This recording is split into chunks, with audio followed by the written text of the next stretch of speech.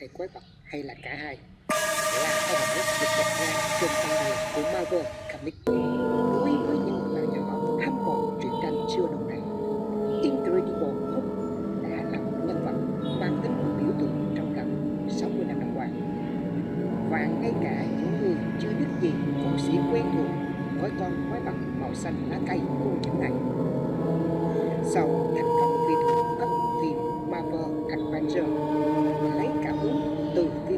quái vật đầu cổ của Frankenstein do Boris Karloff thủ giải, trong thần thoại cho Thái người khổng lồ xanh vui vẻ đã trở thành một trong những ngôi sao nổi tiếng và phức tạp nhất trong vũ trụ Marvel.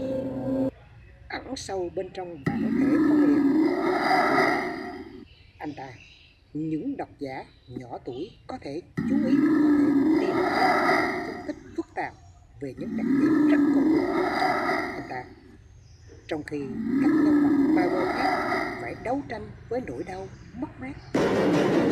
Chẳng hạn sinh hoạt thì siêu không kiểm soát này đã trở thành biểu tượng cho cơn thịnh nộ bên trong. Nỗi lo lắng tiềm ẩn căng thẳng và căng thẳng tâm lý chưa được giải quyết.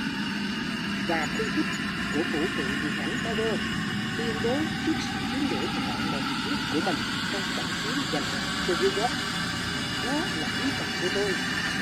Tôi luôn thức dậy vì rõ ràng là chỉ có trí tuệ cho anh ấy và một phần nhỏ tình yêu mới có thể kiểm soát được con cái vật bên trong anh ấy. Đây là một nhận thức quan trọng với bất kỳ người xem nào bối rối bởi sự tức giận, cảm xúc tư lý của chính mình.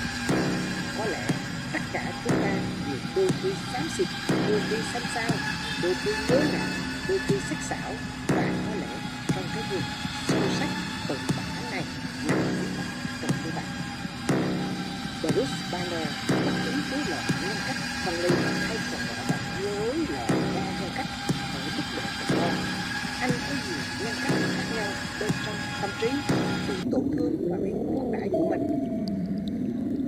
Bắt nguồn bị chấn thương bởi thơ ấu nghiêm trọng do cha anh gây ra. Wood giữ và Joe Fiske là hai trong số những nhân cách thay thế nổi bật nhất và khi anh ta biến thành Wood đặc điểm của anh của ta có thể xác định nhân cách nào trong cơ thể anh ta đã được nó. Về cơ bản chính là đời, trẻ bị ngược đãi với cơ thịnh nộ vô thức tấn công thế giới và cầu xin được yên bình. Trầu xích hiện thân lo lắng người thông điên xấu tính thông minh và tính toán và muốn thể hiện mình là người mạnh mẽ thời tri con trên thế giới bất cứ khi nào bạn nhìn thấy họ chiến đấu đó chính là biểu tượng cho cuộc chiến giành quyền kiểm soát cơ thể bên trong tâm trí họ. Nhân vật mà chúng ta biết đến là Green Hood theo Immortal Wood, thực sự bắt đầu từ thời thơ ấu của Brut anh ta là một phần của cơ chế. Đối khác được cho là sự tiếp quản để giải quyết chấn thương. Anh ta xuất hiện từ Brut khi còn nhỏ sau khi trải qua sự ngược đãi từ tay cha mẹ mình, quyết định rằng cần phải trở thành người đàn ông hay còn chăm sóc bản thân Green là một bức khí họa về lý tưởng nó to lớn và cứng rắn và không chịu khắc phục lý tưởng một đứa trẻ về một người đàn ông. Hood ít bị nhiễm xạ hơn. Và xanh chính áp đảo. Vì vậy, anh ta nhiều khi ở gần. Nhưng trong những trường xanh không thể xuất hiện, tức là khi điều này xảy ra một vài lần rau có thể kiểm soát khi bị nhiễm phóng xạ, và phóng xạ theo quy tắc ngày đêm, không còn phổ biến trong các câu chuyện của biết ngày nay. Trong một chiến tranh anh ta bị bom hạt nhân, giả chết do Richard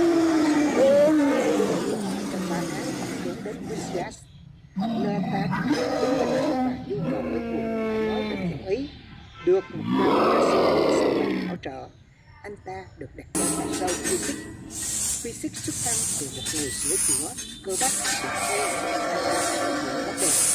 thường là bằng nắm đấm mặc dù điều này được tiết lộ trong vốn thứ mà ta thực sự chịu lấy rất nhiều dữ liệu của Bruce và có khả năng suy nghĩ những này sau đó củng cố trong Immortal Good Trâu là một tham chiếu đến những phương tiện truyền thông mà tôi không thể nhớ chính xác nhưng ông trùm mafia cha của anh ta nói rằng đó là người sâu một vẻ sáng yêu thích của anh ta ở lại đại loại thế như một người khác đã nói là một loại nỗi ám ảnh. Do lắng thông tin bị định lượng gói gọn trong tính cách một người ăn trùm mafia anh ấy rất kinh khủng và tôi rất yêu anh ấy. Anh ấy hơn tôi nghĩ hầu hết những gã khổng lồ khác là hút đối với sự ác nhất của The Bruce và là người muốn tiếp vào cuộc sống của The Bruce phải ra ham muốn tức giận, muốn trở thành bất kỳ ai khác. Có lẽ là nhánh của sự tâm huyết bản thân của The Bruce nỗi sợ yếu đuối được điều chỉnh quá mức trở nên rõ ràng theo nghĩa đen, ghét Rainer, ghét bị coi là gì. Giống Rainer, nhưng là tiếng vọng còn sót lại. Rainer cần từ rất lâu trước đây.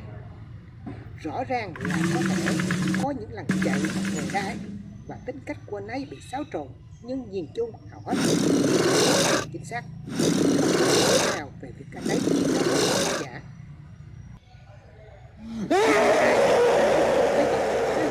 thứ trên đường đi của mình một anh hùng mạnh mẽ như các vị thần một nhân vật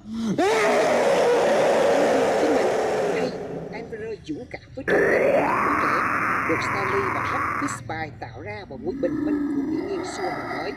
Được sáng tạo bởi nhà văn Stanley và họa sĩ Jack Fishby Hood đã làm say mê độc giả kể từ khi anh xuất hiện lần đầu trong truyện tranh trong Incredible Hood xuất bản lần đầu vào tháng 5 năm 1962 đã hành trình từ một kẻ bị xã hội ruồng bỏ xa lánh.